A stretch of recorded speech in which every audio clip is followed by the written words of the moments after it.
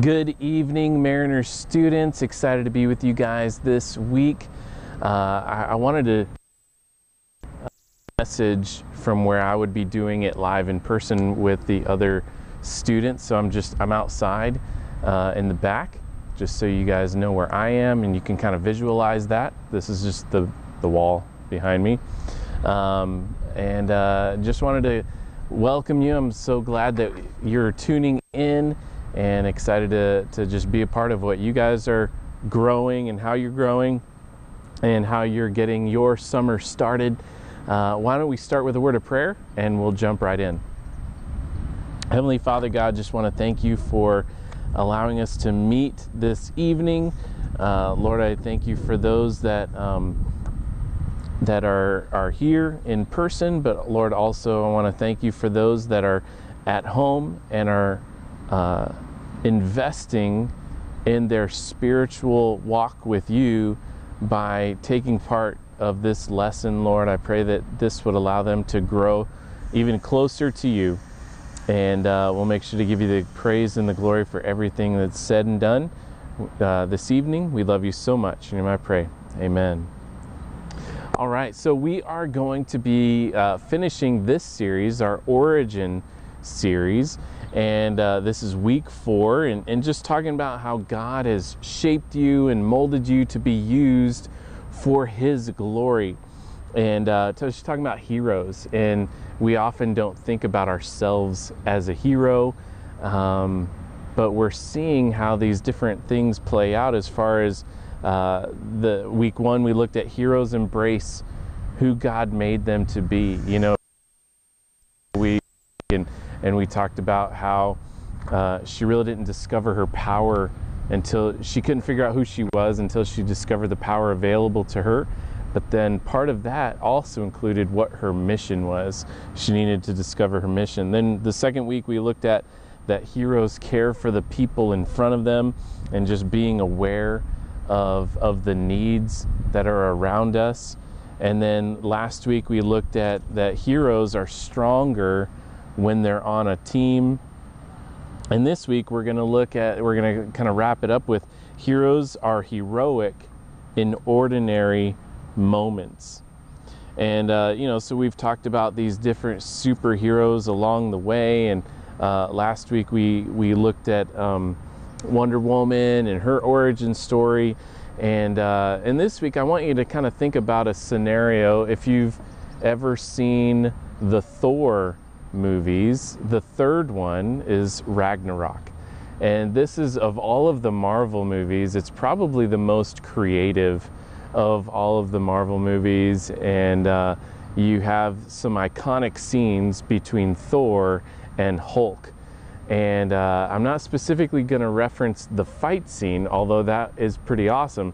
What I'm talking about is later on, they're, they're having this moment where they're just in the room together and they they start having an argument. They they don't fight, but they have an argument with each other, and it it, it really kind of shows how they uh, hurt each other. They hurt each other's feelings. Then they walked through how to reconcile it and kind of gave a good example in the movie there. And, uh, and and sometimes, you know, in the instance of this one, it was kind of a a laugh that got them through it. And, and maybe there's been times when you were arguing with a friend or a family member and it was getting heated and heated and heated. And then all of a sudden, one of you said something that was so ridiculous that both of you had to stop and laugh at the situation. I can't believe we're yelling at each other for this. And that's what got you to, to the point of reconciliation. Like, what are we doing? This is crazy. Uh, and, and then there's other times where you were arguing with a friend and just a laugh wouldn't cut it. A laugh wouldn't do it. A joke wouldn't do it. There came a point where you needed to apologize to a friend. You know, when we think about heroes, we often think about saving the world in big ways and uh, de- like defeating aliens or preventing villains from destroying a city. But in real life, being a hero is more about what you do in those ordinary moments And so, uh, you know, heroes, they're courageous, they're strong, they're compassionate, they're driven to make wrong things right in the world. Sometimes the best way to do that is by owning our mistakes and reconciling with someone we've hurt, even if we didn't mean to hurt them, but you did hurt them. So, uh, being heroic is finding ways to reconcile that. There's a lot of scriptures that talk about where God or one of God's people tells us how to handle things uh, when we're hurt or, or, when we've hurt someone. Uh, and I want to read one of them to you. It's found in James chapter 5, verse 16, and it says this Confess your sins to each other and pray for each other so that you may be healed. The earnest prayer of a righteous person has great power and wonderful results. You know, so, you know, this idea of reconciliation starts with, you know, ad- admitting. That word confess is another word for admitting. And, and so, what we see from this verse is reconciling with someone we've hurt is really hard work, but it is the key to healing. You know, that, that scene that I had mentioned with Thor and Hulk, you know, in their in their argument, if you were to go back and, and, and kind of look at the model that they showed, you, we saw that Thor, he apologized and he corrected the hurtful thing that he said. Then Hulk accepted his apology. Then Thor shared the hurtful thing that Hulk had done to him. And Hulk apologized and shared how he felt, and they found common ground. And, and that's what happens when we're able to have a conversation about these things. Uh, I, what I said was wrong. What I did was wrong. I'm sorry. That wasn't my intention. I hope that you can see that. But I do understand how that was hurtful to you and uh, and we're going to look at kind of a template of how that can play out. How does this scenario of of reconciling play out? But before we do, look in Luke chapter 10, and you know we could share a lot more passages of how how we should apologize, how we should forgive, how we should reconcile. Uh, instead, we want to share a bigger principle about how we're called to treat each other. And, and we're going to think about who do we need to reconcile with and how this passage can relate to that person. So as I'm turning there, think about is there someone that you need to reconcile with, that you have an unresolved conflict with, and how this can relate to that. So Luke chapter 10 verses 25 through 29 says this One day, an expert in religious law stood up to test Jesus by asking him this question Teacher, what must I do to receive eternal life? Jesus replied, What does the law of Moses say? How do you read it? The man answered, You must love the Lord your God with all your heart, all your soul, all your strength, and all your mind and love your neighbor as yourself. Right, Jesus told him, do this and you will live. The man wanted to justify his actions, so he asked Jesus, And who is my neighbor? So in this passage, we see that this man, he, he was trying to, uh, he, was a, he was someone that studied the Old Testament. He said he was a lawyer, but when we think of uh, he was an expert in the law. When we think of an expert in the law, nowadays we think of a lawyer in court. Back then, they were talking about the law of God. He was an expert in the Old Testament, is what that meant.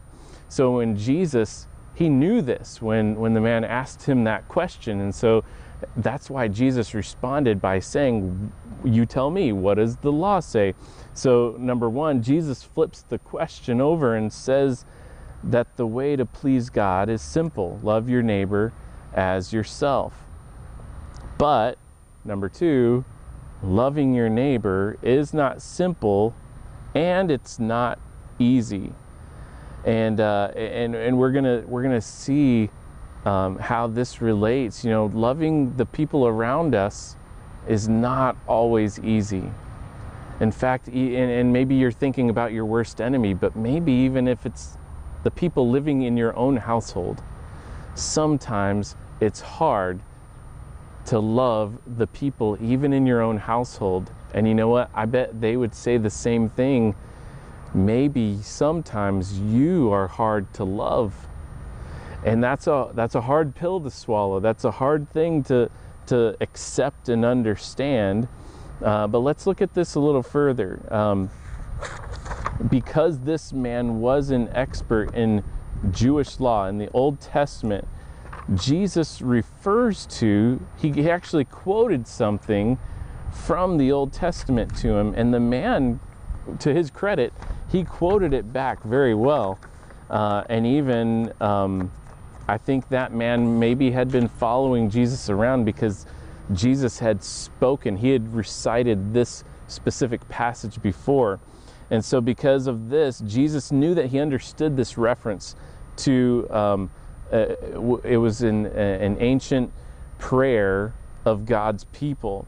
And this prayer is often repeated throughout the Old Testament, uh, which is, and it literally the word for this prayer means listen and is the first commandment. That's the first command in this prayer, is what we're going to read.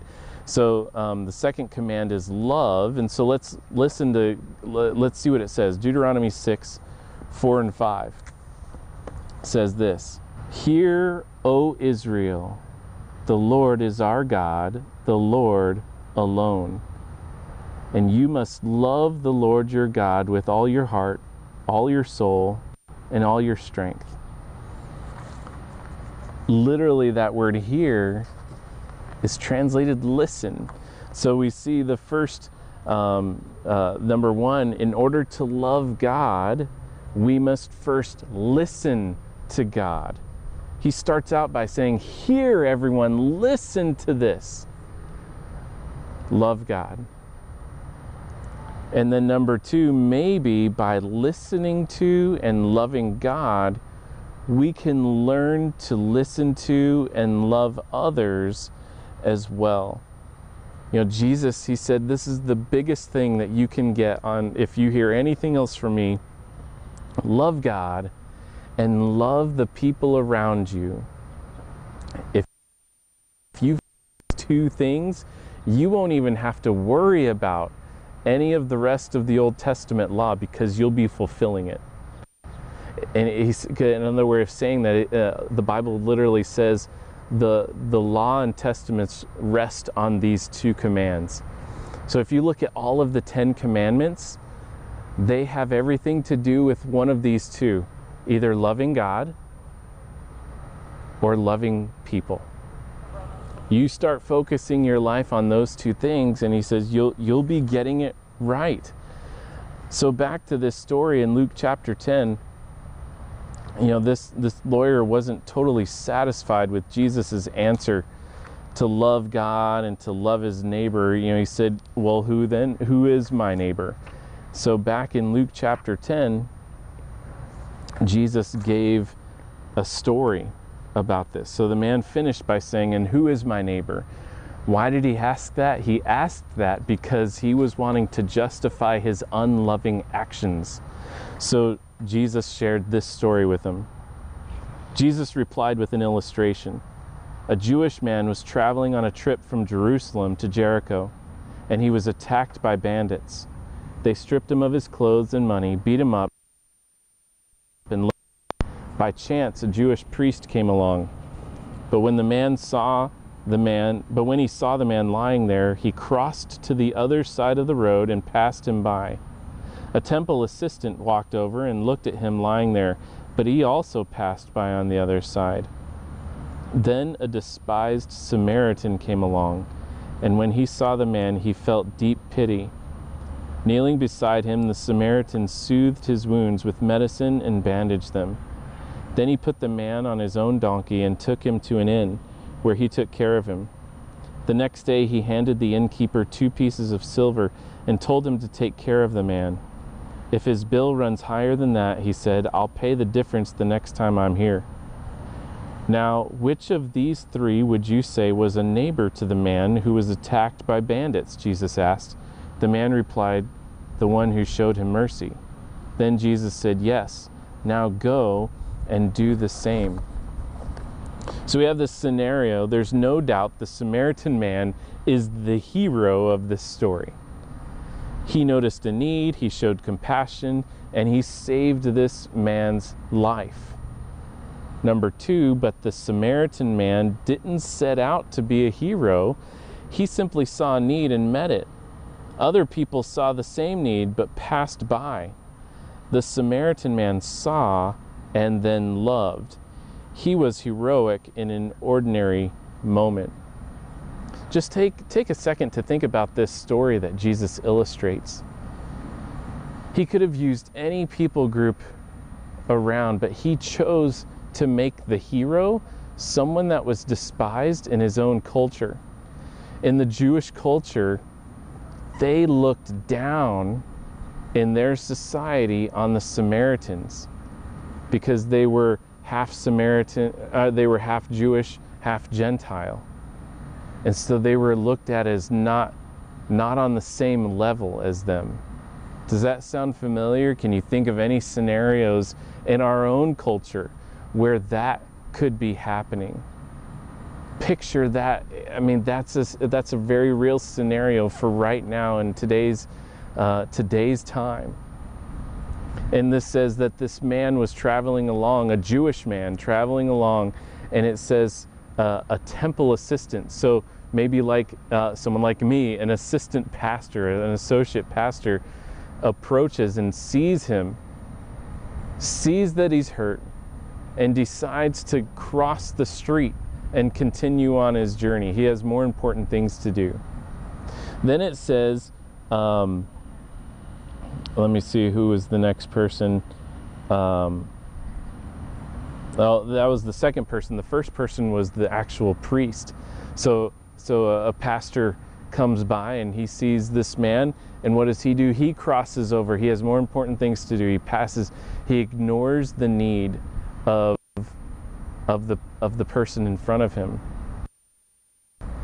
That is despised by the person that's hurt. He walks by and says, "There's a need." And I'm here, and God has blessed me enough to fulfill that need. And so he shows compassion, he shows love, he, he holds the man, he, he helps him up, he brings him to get medical care, he pays the bill for that medical care and to even stay where he is. He says, I have to continue on to a meeting, but I'm, when I come back, I'm going to check on him, and if there's a further bill, I'm going to pay for that too. This is the man that's despised in their culture, and Jesus said, Be like those people. And I think Jesus did that for a very real purpose. He could have chosen a Jewish person to illustrate that, but I think they wouldn't have necessarily got the message that Jesus was trying to illustrate here. Jesus was saying that we are to show everyone love. Background is, no matter uh, what they've done or what they look like. same kind of love. Why? Because Jesus showed everyone the same kind of love. So, what do we learn? Um, now we move on to what do we what do we do with this? Uh, you know, just just like the Samaritan man was was saw wrong and made it right, Jesus Jesus modeled that for us. Jesus' own ministry is filled with seeing something wrong and making it right. Uh, in John chapter 5, Jesus saw a man who had been paralyzed since birth. He righted that wrong by healing him. In Matthew 4, he saw two men who hadn't yet heard the, of the good news of Jesus that Jesus was offering. He wronged that right by inviting them into a more purposeful life with him. In Matthew chapter 9, he saw a crowd of people uh, who needed hope and healing, and Jesus righted that wrong by healing, by teaching, and encouraging his disciples to do the same. Heroes are known for righting wrongs, but sometimes the hardest wrongs to right are the ones that we've created. You know, everyone wants to be a hero in situations where they get to do something big and flashy. Everyone notices, everyone applauds. They get all the glory and none of the blame. But the real heroes, they know the most heroic things happen when you right a wrong, no matter how small, when hardly anyone notices but you and God. You take responsibility and you work to right your own wrongs. I want you to picture here's a here's a picture of a fence. So who is your neighbor? For starters, your neighbor is the person you can't stand. It's the person who can't stand you. Your neighbor is the person you're fighting with right now. Then your neighbor is the person you haven't talked to in a while because they're still angry or hurt because of what you did or said. When we fight with our neighbors, it's easy to start putting up fences between them and us, like bitterness and uh, anger and silence and guilt and fear and revenge. But you know what? Number one, the more time passes, the bigger the fence between us becomes. The bigger the fence becomes, the more difficult it is to see each other. And thanks to Jesus' example, we know how important it is to see each other. And number two, if we can't see each other through all of our distance, anger, and bitterness, we'll struggle to clearly see the wrongs that need to be made right. So, what about you? Are there any fences separating you and your neighbor? What are the wrongs that you need to make right in your relationships? Don't think about what others have done to you. Think about the things that you've done that you need to make right. What fences do you need to heroically climb in order to reconcile with someone that you've hurt? So, how do we reconcile? How do we do that? Even if you both feel hurt or angry, someone needs to make the first move toward reconciliation. If you want to be heroic, let that be you. You be the one to, to, to make that first move. So, how do you reconcile two words admit and apologize? Admit, number two, admit how you hurt them, then apologize. Here's some just some practical things. Number three, don't make it all about you. This isn't about you. This is about them. It's about how you hurt them. Uh, number four, don't defend yourself. Don't try and justify. You know, this man in the story, he tried. He was trying to justify his poor actions towards others. That's why he asked, "Who then is my neighbor?" Because he wanted to justify treating others badly. And that's why Jesus mentioned the Samaritans, because the Jewish people were treating them badly. And that's why Jesus illustrated don't treat them badly. Don't treat anyone badly. So don't don't defend yourself. Number 5, don't tell them not to be hurt or angry. You know, one of the worst things you can say after you've hurt someone's feelings is to just say, "I'm just kidding." what you're doing in that moment is you're you're not validating their feelings. You're not just made them feel and what you're doing is you're not taking responsibility for the words that you spoke or the actions that you did. For you to say I'm just kidding or for you to say don't be so sensitive what you're doing is you're you're demeaning that person and you're saying that you don't value them and you don't value how they feel.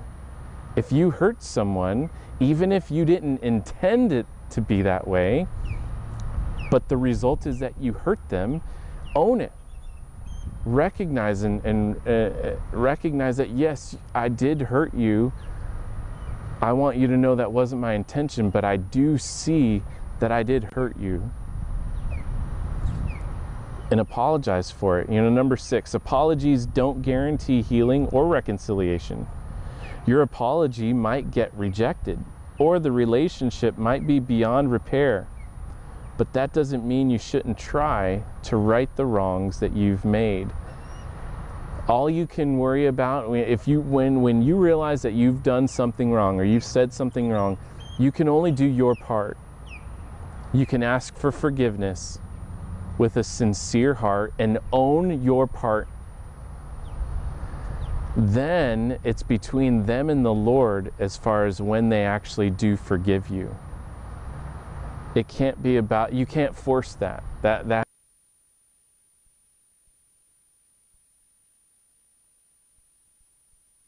has to but that's exactly why we're talking about. It's not easy. But that's why it's heroic. You know, heroes are heroic and ordinary. Last week in the the origin story, and, and we've talked about a lot of things. We've looked at that heroes embrace who God made them to be. Heroes care for the people in front of them. Heroes are stronger when they're on a team. And tonight, heroes are heroic in ordinary moments. You know, most, number one, most of the time, the kind of heroism God calls us to is not flashy or newsworthy, but it is life changing. It happens one person at a time, one moment at a time, one mission at a time. When else does it happen? Number two, it happens when we discover who God made us to be and boldly use our unique gifts for the benefit of others. Number three, it also happens when we notice the needs of people right in front of us and get creative to meet those needs. Number four, it happens when we work alongside like minded people who are committed to the same mission that we're committed to. That's what we talked about last week. And then finally, number five, it happens in school hallways or in our living rooms when we commit to restoring and healing relationships that we've broken. So, how are you going to join Jesus on his mission to save the world? He has shaped you, he's molded you, he's saved you to be on the same team with him and other fellow believers on this earth to rescue the world, to reconcile the world between God and man. Will you be a part of that mission? Let's pray. Heavenly Father, God, just want to thank you so much for loving us, being with us tonight. For everyone that's taking part in this series, thank you for what you're continuing to teach us. Lord, I pray that tonight you will have placed on someone's heart, someone's mind, someone that they need to reconcile with. And I pray that they would take a, a step towards that direction, help them to be the first one to own their part and help them climb over that fence and reconcile their own relationship. Because you've called us not only to love you, but to love others. Lord, we love you. Thank you so much for loving us first. In the name of your Son, Jesus, amen. All right, guys, we're excited uh, to continue. I hope you had a great 4th of July yesterday. And uh, we will continue our Tuesday night small group time at the church house located at 1867 Ritchie Highway, Annapolis, Maryland 21409. Uh, 7 o'clock on Tuesdays if you want to meet us there. We'll continue our study there, how we're growing through life's challenges. And if we don't see you there, we'll see you next Sunday. Have a good one.